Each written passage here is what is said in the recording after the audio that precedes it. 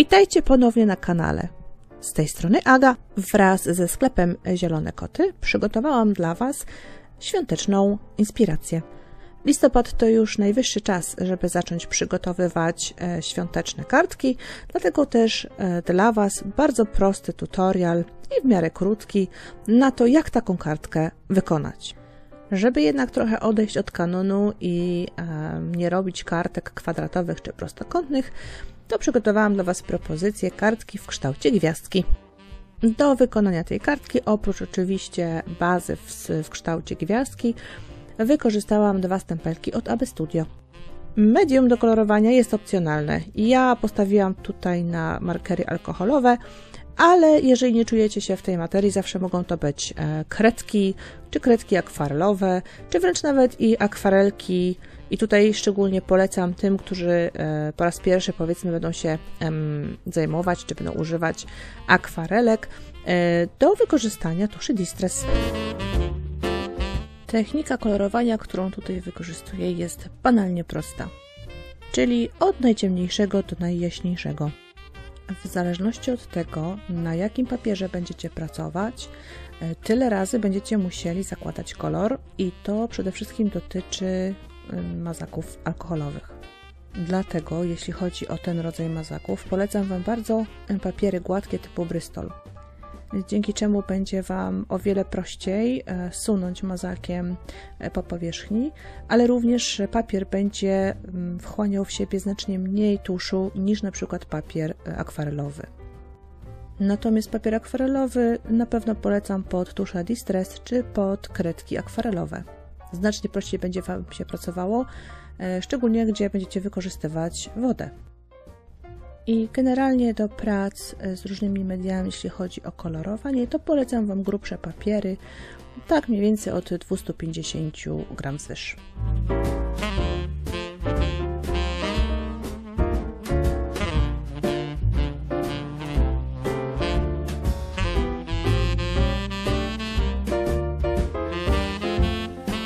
Zanim zdecydujecie się na pokolorowanie obrazków, sprawdźcie, czy kolory są w tej samej temperaturze barw.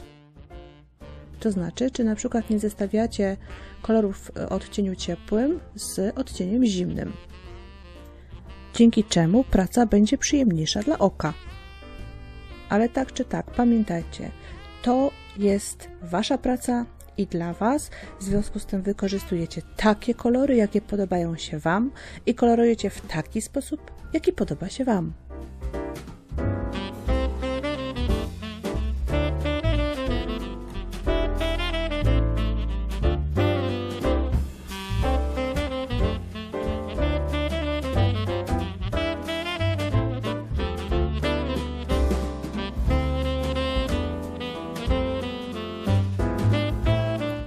Tu zwrócę Wam uwagę na jeden detal. Dotyczy to szczególnie, jeżeli kolorujecie tuszami y, alkoholowymi.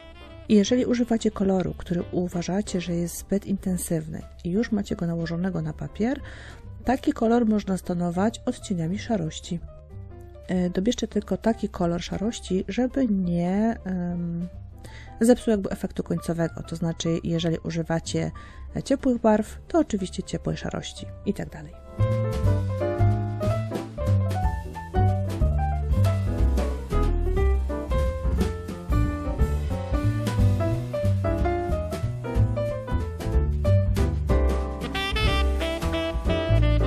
Jak już zapewne zauważyliście, od jakiegoś czasu na e, kolorowanych obrazkach przeze mnie e, dodaję białe elementy. Mają one kilka zastosowań. Naśladują one błysk, dzięki czemu kolorowany obrazek nie jest e, super płaski. Oczywiście stosujemy tutaj takie kolorowanie, żeby wyciągnąć coś w rodzaju trójwymiarowości, ale to jest jeszcze jakby dodatkowy poziom w tym efekcie. Poza tym dzięki takiemu białemu cienkopisowi możemy uzyskać e, też ala efekt błyszczący, jakby brokatu, dodając rozliczne kropeczki i krzyżyki na wybranym elemencie. Wycinanie. Tu można zastosować dwa typy takiego e, wycinania. Pierwszy, tak zwany naklejkowy, gdzie zostawiamy białą obwódkę wokół kolorowanego obrazka. Oraz drugi do linii, gdzie po prostu tego tła nie ma. Takie wycinanie daje dwa różne efekty. W pierwszym przypadku e, wybija dany obiekt z tła, natomiast drugi efekt może być zastosowany, jeżeli rzeczywiście wiele elementów dajemy na tło, czy też e, do kompozycji i jakby ta ramka już niewiele jakby zmienia, albo styl danej pracy nie będzie pasował do typu naklejkowego. Ja osobiście wolę ten pierwszy. Czas przygotować tło pod naszą kompozycję. Ponieważ zależało mi na tym, aby praca nie do końca cała była pokryta e, elementem z maski, e, brzegi kartki zamaskowałam taśmą maskującą. Następnie przy wykorzystaniu białego gessa oraz szczecinowego pędzla naniosłam wzór na kartkę. Zwróćcie uwagę, kiedy będziecie wykorzystywać e, taśmę maskującą, e, żeby zdjąć jak najwięcej kleju z niej, ponieważ może ona e, finalnie później Wam zedrzeć papier. W miejscu, gdzie nie był położony wzór maski, dodałam rameczkę w postaci przeszyć. Teraz przechodzimy do stworzenia kompozycji. Za pomocą wykrojników wycięłam dwa identyczne kółeczka. Na jednym z nich e, postemplowałam napis e, odpowiedni do okazji, e, a następnie zarówno na jednym, jak i na drugim kółku zrobiłam przedarcia. W ten sposób przygotuję imitację śniegu. Z racji tego, że na obrzeżu kartki znalazły się robione przeze mnie ręcznie przeszycia, to żeby utrzymać ten sam styl, na kółeczkach również wykorzystałam wykrojniki z przeszyciami. Oczywiście w tego typu pracy nie może zabraknąć choineczki, tu nawet zdecydowałam się e, wstawić dwie. Całość kompozycji e, zamontowałam na dość niskich, ale jednak kosteczkach dystansowych. Tu akurat e, takich, które są w taśmie, dzięki temu mogę sobie dobrać długość odpowiednią do elementu, po to, aby tę kartkę zrobić nieco bardziej trójwymiarową.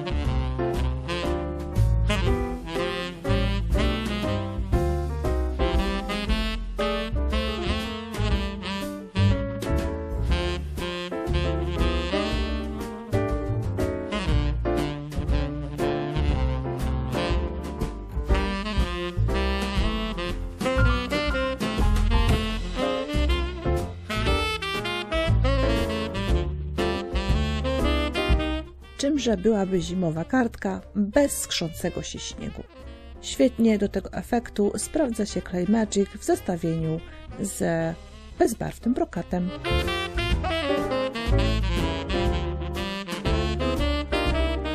Na koniec przetuszowałam jeszcze brzegi kartki e, białym tuszem, tutaj akurat Picket Fence. Przy tego typu kartkach, które składają się z dwóch odrębnych elementów, najprościej złożyć ją w całość, przebiegowując jeden z na przykład e, brzegów, czy na przykład jeżeli to jest koło, to fragmentu e, tego koła i sklejenie dwóch elementów w całość. Nic prostszego.